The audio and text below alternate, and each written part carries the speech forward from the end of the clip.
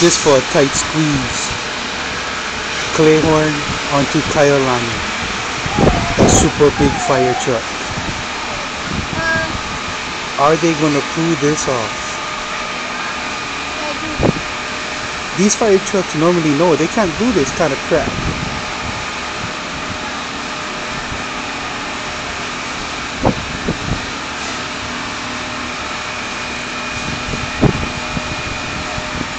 Look at that. These guys are insane. How the hell are they gonna wait a minute? Oh no wonder they have a back driver.